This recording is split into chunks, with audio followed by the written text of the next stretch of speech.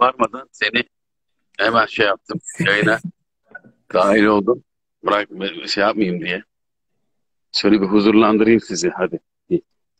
Gençler. Hocam Bu hoş başka, geldiniz.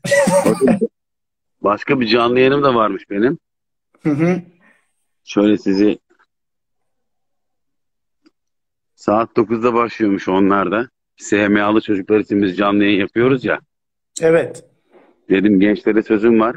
Biraz müsaade edin. Bitirip geleyim dedim. Evet. Ne yapıyoruz? Ne, neredeyiz? Kimiz? Anlat bakalım. Başlıyorum hocam. Ee, hocam biz Hatay'dayız. Ee, normalde e, tabii Türkiye'nin birçok şehrinde üniversite okuyan arkadaşlarımız var. Ben de normalde Selçuk Üniversitesi'nde okuyorum. Daha doğrusu bitti sayılır. Haziran'da artık e, bitiriyoruz. Pandemiden dolayı gerçi son bir buçuk yılda pek bir şey anlamadık.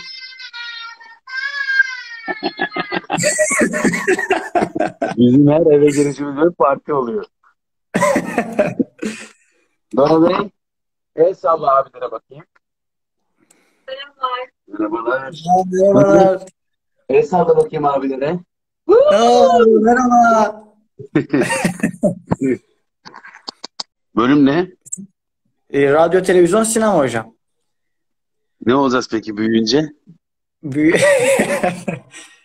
Hocam açıkçası daha çok sinemaya bir yönelim var. Tabii oyunculuktan ziyade e, kamera arkası daha çok düşünülüyor. Yani program yapmayı da açıkçası çok istiyoruz. Yaptığımızda oluyor. Tabii bizimkiler genelde yerel düzeyde oluyor ama e, yavaş yavaş e, kademe kademe gidiyoruz diyelim.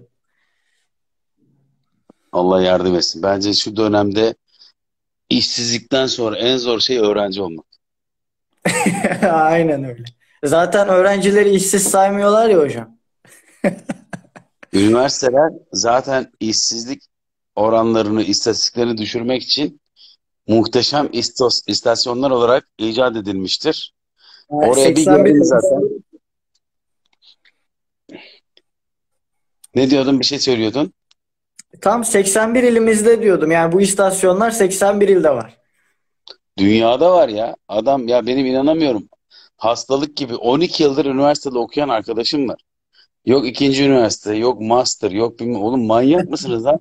Ben sırf bu yüzden 3 tane üniversiteyi bıraktım. Çalışıyorum, para kazanıyorum.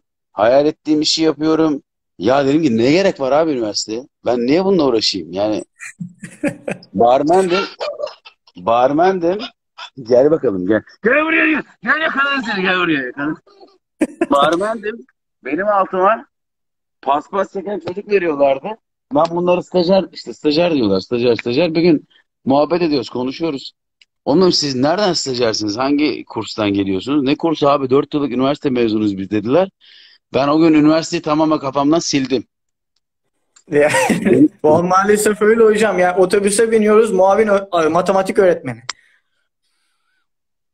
Şimdi e, bunu artık hele ki sosyal medyanın bu kadar güçlendiği, yayıldığı bir dönemde e, saklayamazsın da bu gerçeği. Herkes e, gerçekten ben bir tane paylaşım yaptım. E, yemek yiyorduk kanyonda eşimle.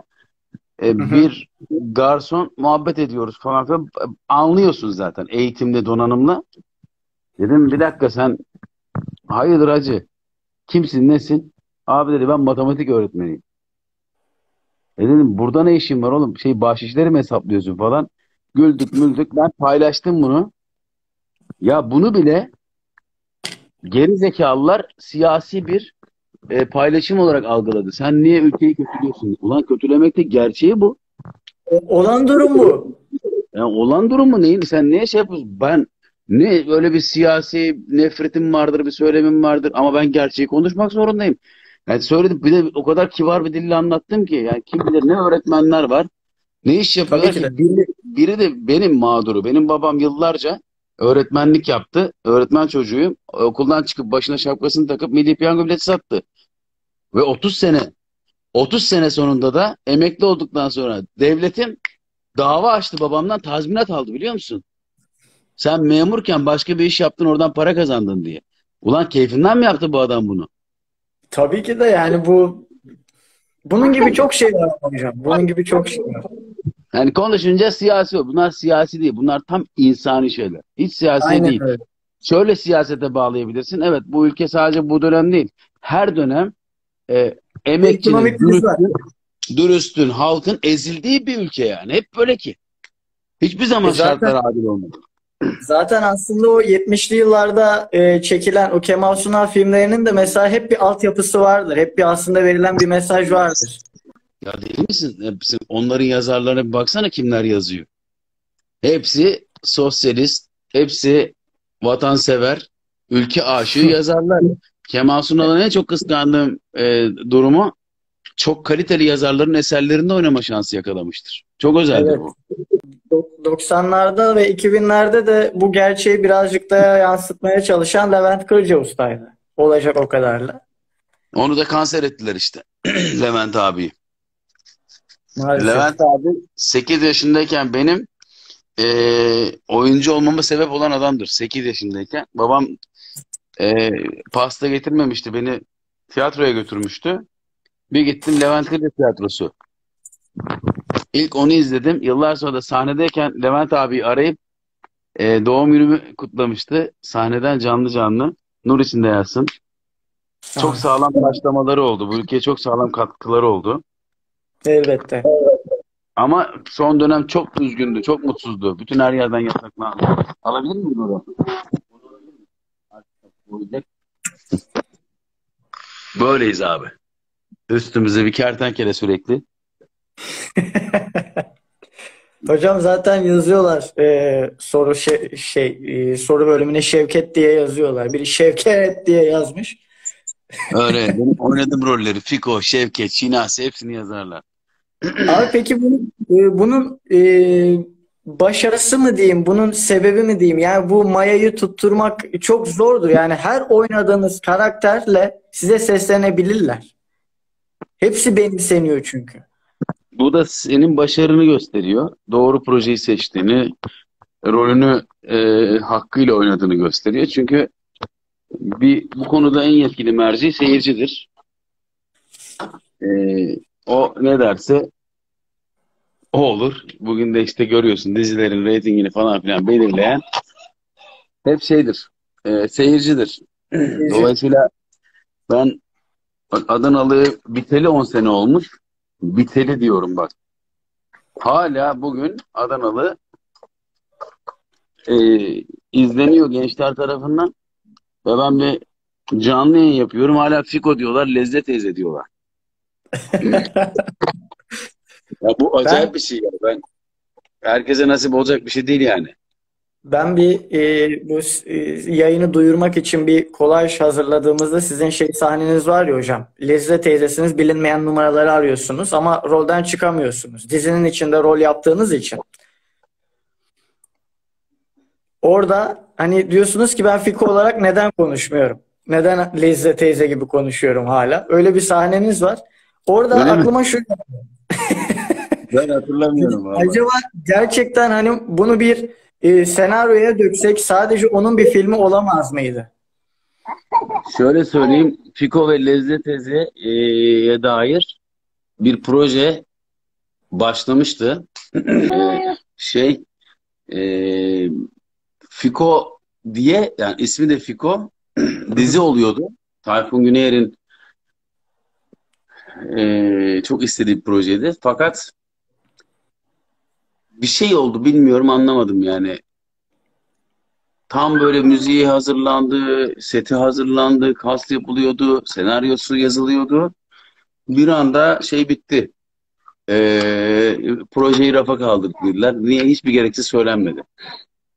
Anladım. E, yani açıkçası zaten Fiko'nun asıl ilk bölümlerdeki karakteri de aslında çok matrak. Yani teyze teyze gelmeden önce bile o işte korsan iş yapan, aslında yine sinema sektöründe olan ve her şeye e, Tarkovski'den ne bileyim Türk sinemasına kadar birçok şeye hakim olan bir karakter. Harbiden yok yani. Yapılmadı bugüne kadar öyle bir film.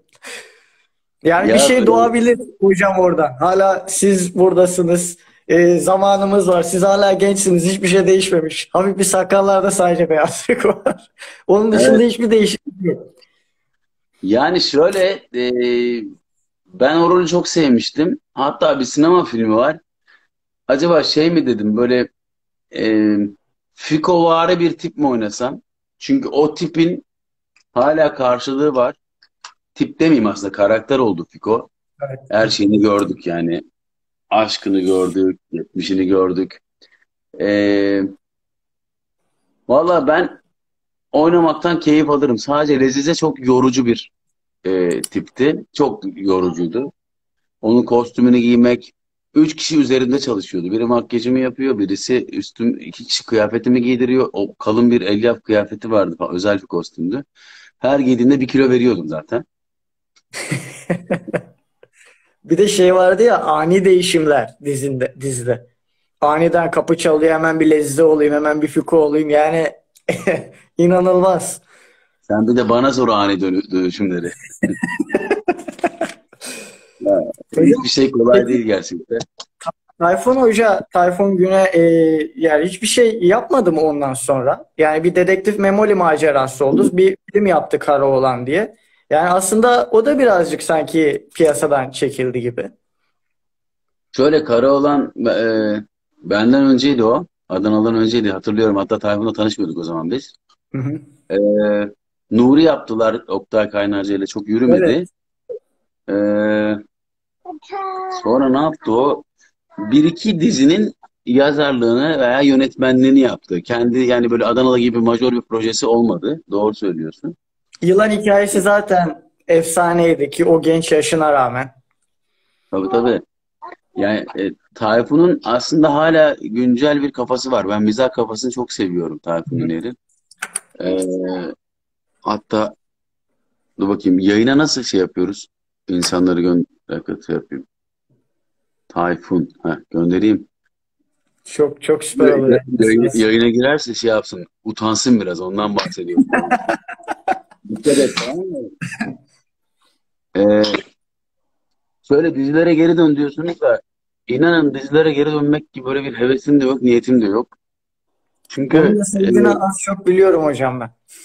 yani şimdi hem çocuğum var, başka bir kafadayım böyle e, bölüm başı iki saat, iki buçuk saat dizi kabus gibi bir şey yani oyuncular için, e, set için, bence seyirci için. Herkese iyi akşamlar, yeni gelenlere de selam olsun. Aynen Biraz e, hala yakalayamadılar çağı. Çok geride kalıyorlar. Ya Şimdi bakıyorsun platformlarda 40 dakika dizi var. Evet. 20 dakika, 22 dakika komedi var. Sen hala iki buçuk saat televizyonda birbirine bakan, eden. Yani ismini vermeyeyim. Geçenlerde Malatya'da bir akrabamda e, şu an çok izlenen dizilerden birisi açıktı. Böyle heyecanla izliyorlar. Aklım böyle yönetmen bir arkadaşım vardı. O da dizi, dizi izlemiyormuş. Böyle aklım durdu. Ya o kadar aptalca sahneler. Bir tane kadın vuruluyor. Ya bak babama anlattım. Babam da izliyormuş diziyi. Yani bir kız vuruldu. Hastaneye kaldırdılar. Üç tane delik böyle kanıyor. Hı. Dediler ki bu kan sadece bilmem kimde var. Onu Töre bulmalıyız. miydi hocam? Boş ver.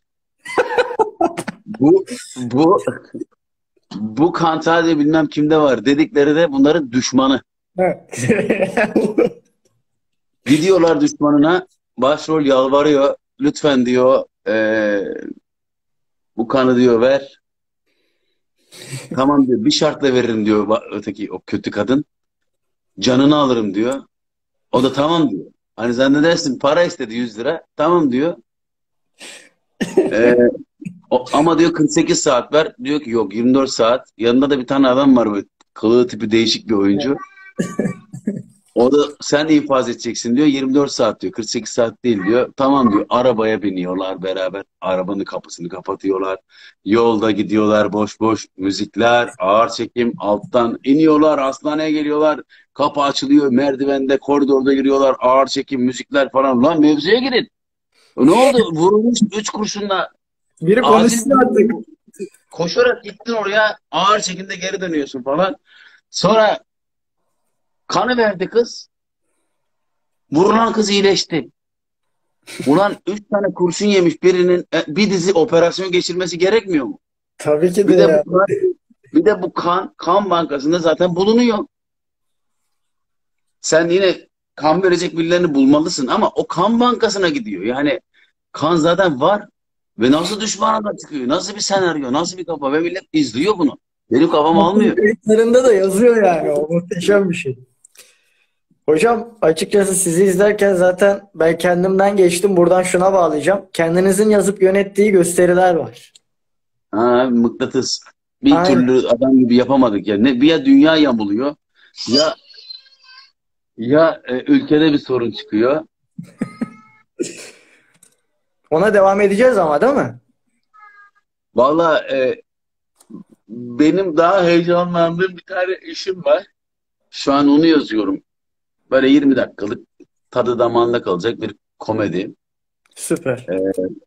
Eş dostla böyle yakın arkadaşım olan oyuncularla başlayacağım. Kendi cebimden çekeceğim.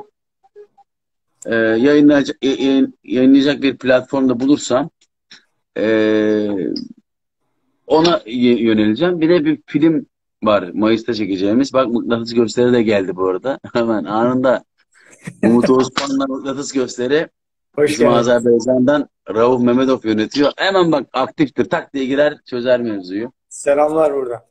Eyvallah.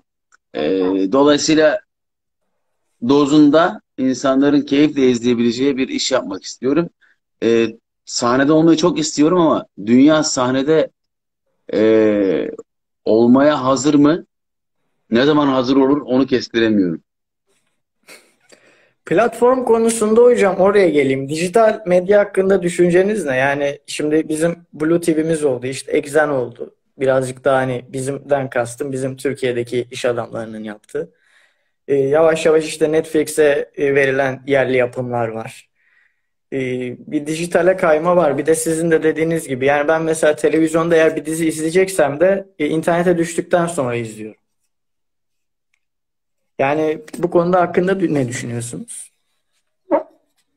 Ya şimdi insan psikolojisinin bazı ee, parametreleri var. Yani sen bir adamı iki saat boyunca sahnede güldürebilirsin.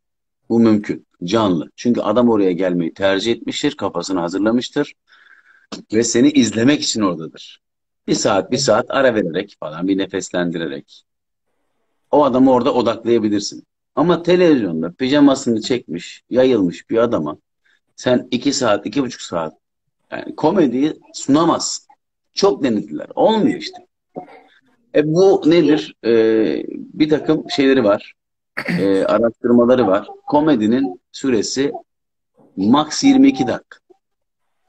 Yarım saat yapan da var. Ama onun ideal süresi 22 dakika diye belirlenmiş. Dünyada bu böyle yapılıyor.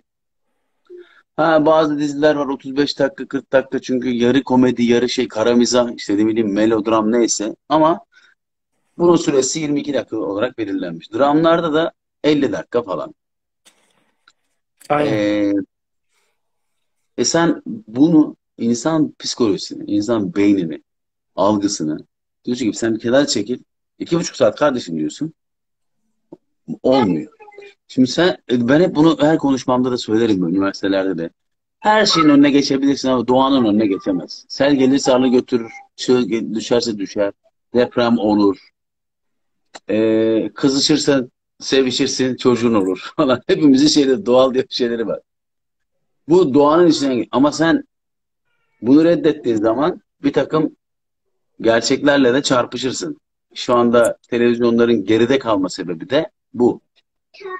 Aynen. İnsan taleplerine yönelik e, alanlar, mecralar açıldı ve şimdi e, görüyoruz ki e, deli gibi ilgi var. İnsanlar oraya kaydı. İşte YouTube'da ben mesela YouTube'u açıyorum. Bana özel benim merak ettiğim haberleri bana sunuyor. Ama şimdi Aynen. çok bizim YouTube'un kafası çok karışık.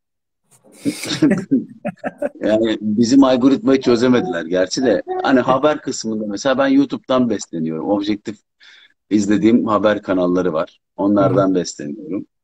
Ee, işte benim Netflix'imde bana özel benim sevdiğim tarzda Aynen. diziler öneriyor. Güzellik de güzel. Yani şimdi diğer e, platformlar da öyle. Abi şimdi bu varken, bu keyif varken günümüz seyircisine e, özgürlük alanı açılmışken sen şu gün şu saatte falan dizi diye şey gibi oluyor işte. E, değişiyor düzen. Çağa ayak uydurdun uydurdun uyduramadın patates oluyorsun işte. Aynen öyle.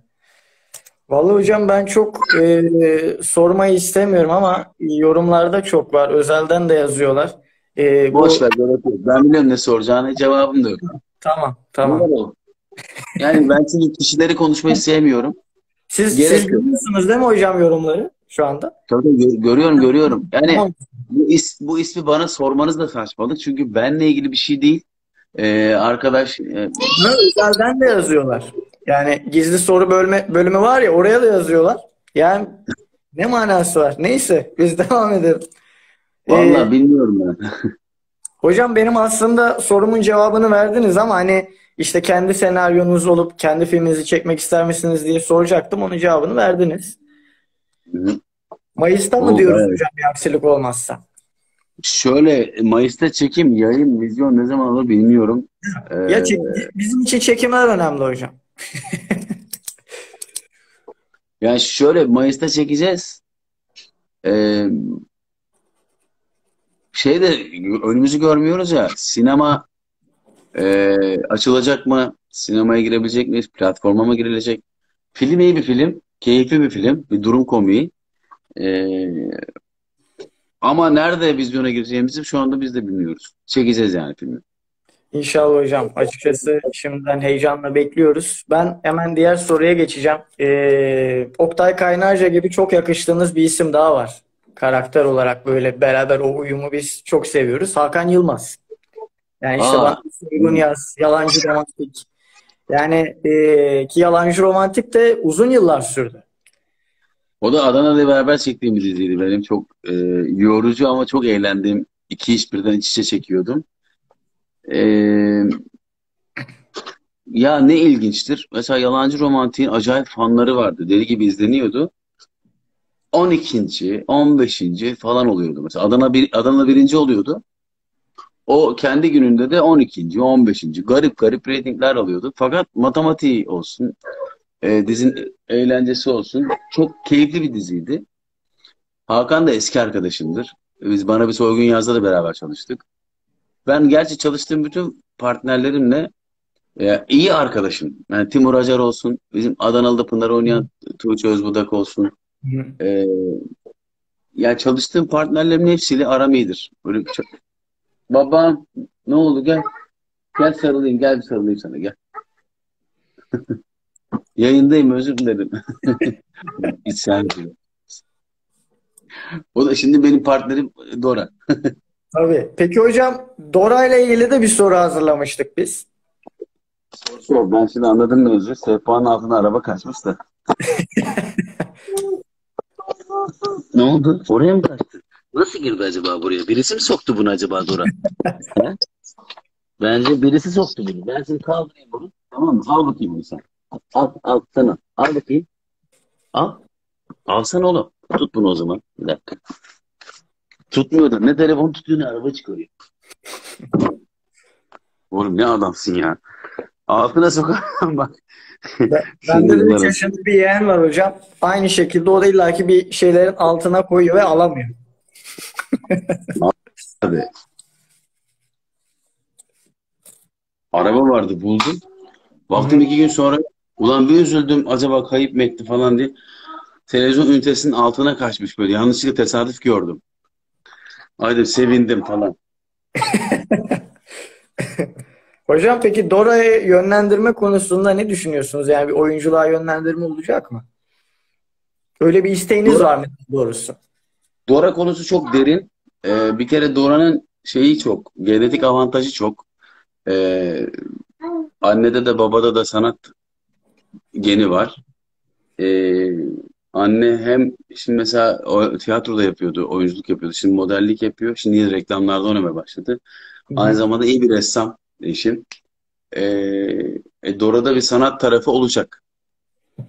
İkincisi ee, spor geni çok yüksek Dora'nın. O zaten belli oluyor işte dışarı çıktığımızda falan da ee, iki yaşında bir çocuğa göre kas yapısı falan ki bunları biz önden biliyorduk doğmadan önce genetik testlerimizden. E, ben biraz gözlemleyip onun istediği yöne destek olacağım. Yani şunu yapsın, bunu yapsın derdim hiç yok Dora'ya dair. Gönlü ne istiyorsa e, onu yapsın isterim. Çünkü Konfüçyüs'ün en sevdiğim lafıdır. E, sevdiği işi yapanlar sonsuza dek çalışmazlar. Aynen öyle. Hocam şimdi e, bir e, aklıma takılan bir soru daha var. Hani bu hep eski dizilere bizim özlemimiz var. Siz de dediniz ya yani şu anki dizilerde hem e, elbette içlerinde iyi diziler de var. Fakat hep böyle biz dizi tekrarlarını daha çok seviyoruz. 10 yıl önce yapılmış oturup onu izliyoruz. Günümüzde yap- yapılan projeyi izleyesimiz gelmiyor. E, Neden? o projelerin o projelerin yeniden çekilmesi sizce bir risk mi? Yani mesela işte bunu yılan hikayesi Dedektif Memoli. Dedektif Memoli e, o kadar e, elbette uzun soluklu olmadı. Beklenileni vermedi. E, yani bu belki bir Adanalı'da yapılmak istenildi. Bilmiyorum. E, acaba bu düşünceyle mi yapılmadı? Biz buna röprez deriz tiyatroda. Hı hı. E, oynanmış, daha önce denenmiş projelerin tekrar yapılması. Fakat bu bir risktir. Yani şimdi sen bugün Hababam sınıfını tekrar yapsan o ruhu yakalaman imkansızdır. Adamlar e, öyle bir yere koymuş ki çıtayı. E, Ertem Eğilmez, Rıfat Ilgaz, sonra kurdukları o genç kadro. Evet. e, muhteşem işler yapmışlar. Şimdi bunun aynısını evet, denediler sinemada. Oldu. E, bir şey gişe yaptı. Ama bugün Hababam sınıfı yazdığınız zaman onlar çıkmıyor internet. Eskisi çıkıyor. Onun bir ruhu var. Ha, e, şu olabilir. Mesela seyircinin tadı damağında kalmış işler vardır. Bunu da mesela biz yaptık. Emret Komutanım 4 sezon Show TV'de yayınlandı. Sonra Kanal 1 kurulduğunda bana başrollerden biri teklif edildi. Biz tekrar e, çektik ve izlendik Emret Komutanım. Çünkü öyle projeler de var. E, şimdi mesela Memoli doğru bir örnek olmayabilir. Zamanında yapılmış Memoli'nin kadrosu, zamanlaması, senaryosu, e, yayınlandığı kanalı falan dediğinde e, çok güçlüymüş. Tabii, tabii. Ama şimdi sen onu yakışıklı diye bir çocuğa verip başrolü, o da ona da haksızlık. E, geri kalan kadroyu sağlam doldurmazsan o projenin gitmesi mümkün değil. Mümkün Aynen. değil. Tabii her dönem de bak bugünün dinamikleri başka. Memoli yayınlandığında Tayfun daha iyi veriyor rakamları. Bugün e, en iyi reytingi alan dizinin dört katı mı ne reyting alıyormuş mesela. Şehir Silip alıyormuş. O zaman, Hı? silip Şimdi mesela evet, o zaman so- yani televizyon izleyen neredeyse 10 kişiden 8'i o diziyi izliyormuş. Öyle diziler vardı. Hani sokakların boşaldığı diziler vardı. Şimdi adam telefondan izliyor diziyi. Yani bugünün dinamikleri başka. O yüzden e, eski diziyi tekrar yapmak hayal kırıklığı olabilir. E, Bana şey diyorlar, e, Umut abi Lezzet teyze olarak bir şeyler yapsana. Yani ya- yaparım ben ondan gocunmuyorum da mesela en kötü şey yapacağım. Bir canlı yayın yapacağım. E, TikTok'ta falan. E, o da şey çocuklar gençler eğlensin diye.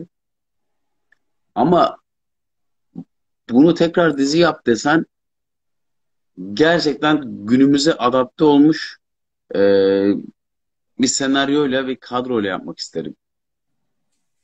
Aynen öyle. Ki belki de hocam daha uygunu film olur. Yani bir film Evet evet neden olmasın? Çok sağlam bir senaryo yazılabilir çünkü durumu çok güçlü. Yani Fiko'nun düştüğü durumlar, Lezzet teyzenin işte ölmesi ve yerine geçmesi, e, bunların başlarının sürekli belaya girmesi, e, bu acayip durumlar vardı. Biz çok bir şey yapıyorduk. E, çok eğleniyorduk yani çekerken de. Ya zaten büyük projelerin yani işte az önce de söylediniz yani e, birçok proje var Türkiye'de bugüne kadar yapılmış olan. Yani 7'den 70'e herkesin bildiği. Bunlardan biri de evet Adanalıydı. Çünkü E, bu tarz projelerde yan karakter diye bir şey olmuyor hocam. Bütün karakterlerin hikayesi oluyor, hayatı oluyor. Bundan dolayı da o dizide illaki biriyle kendimizi bağdaştırabiliyoruz. Tabii tabii. Zaten bence bir senaristin başarısı oradan geliyor. Senaryo çok önemli. Günümüzde de senaristler çok çok çok zorlanıyorlar. Yani bir ben mesela 20 dakika bir dizi yazıyorum. Kaç sayfa bilmiyorum. Saymadım da 20 dakika bir diziyi yazmak için bile günlerce uğraşıyorum. Tabii. E adam her bölüm e, 5-6 kişilik bir yazar ekibi e, şey yazıyor. Sürekli bölüm yazıyor. Aynen öyle. Geçenlerde mesela e, birkaç bölüm önce Hakan Bilgin'le e, yayın yaptık. Melih Ekener'le yayın yaptık. Taner Çok Ertek, severim aslında. işte, Taner Bey'in eşi mesela Ayça Hanım da Ayça Mutlugil'de e, senarist. Dün mesela denk geldim bir inceleyeyim dedim. Payitaht dizisinde hocam e, yaklaşık 6-7 kişilik bir senaryo ekibi var. Keza Arka Sokaklar'da. Tabii tabii. Bu da bilinen. Başka destek alınan yazarlar da vardır. Tabii ki de. Aynen öyle. Ee, hocam peki size birkaç özel sorum olacak. Bunlardan biri de o tiyatro sahnesinde, o kutsal sahnede hani işte oynayamadığınız ve oynamak isterdim dediğiniz bir usta var mı? Valla e, herhalde Haluk Bilginer'le oynamayı çok isterdim. Olur inşallah. Evet. Olabilir yani. Öyle bir imkan var. İnşallah. E, Bülent Emin Yarar'ı çok severim ben. Sahnede izlediğim iyi oyunculardan biridir. E, vardır da şu an aklıma gelmiyordur. Başka. Çünkü öyle bir şeyim yok. İyi kadro olsun, iyi oyun olsun. Bana yeter derim. E, ama bu ustalarla gerçekten oynamadan ölmek istemiyorum. İnşallah hocam. Bu arada şeyi de sorayım. Ee, oynamak istediğiniz bir film oldu mu? Yayınlanmış, yerli veya yabancı. Hani şu filmde oynamayı çok isterdim.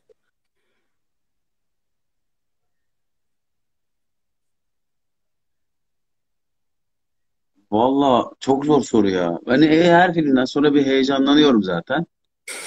Ee, böyle, ulan diyorum ne güzel çekmişler falan. Böyle iyi, iyi niyetli bir şeyim oluyor. Hasetim oluyor böyle bir kıskanıyorum ulan biz niye yapmadık bunu diye. Ee, fakat o kısa sürüyor. Yani şey değilim. Düşünüyorum. Yok.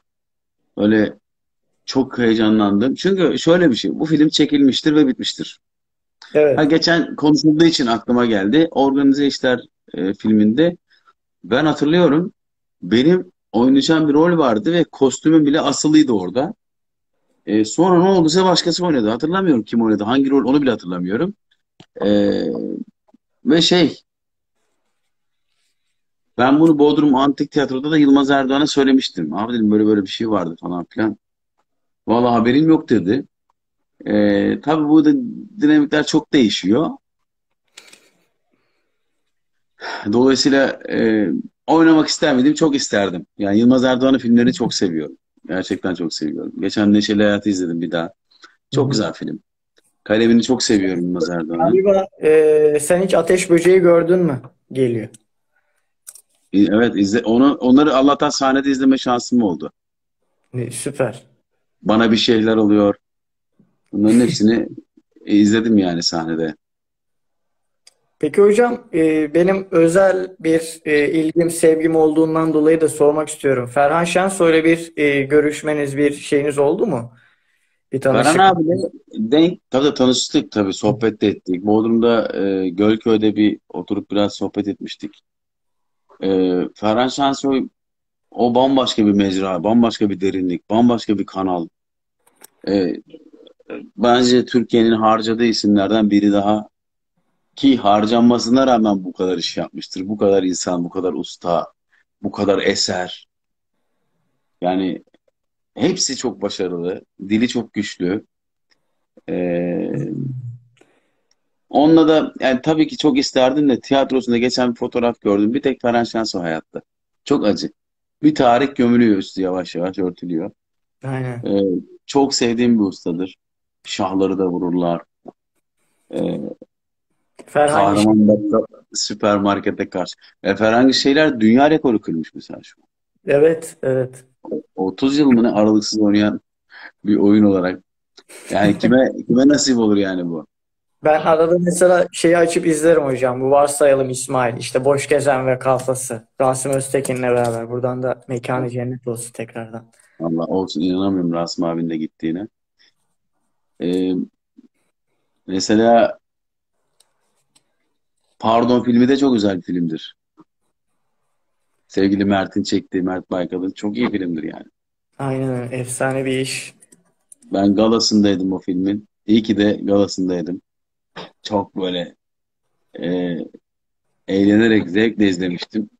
Mesajı da güçlüdür, mizahı da güçlüdür. Kadrosu da, oyunculuğu da, yönetimi de hepsi çok güçlü bir filmdir. Yani zaten Ferhan Şensoy'u hangi projede, hangi oyunda görürsek görelim o kendine özel bir üslubu, o lisanı var.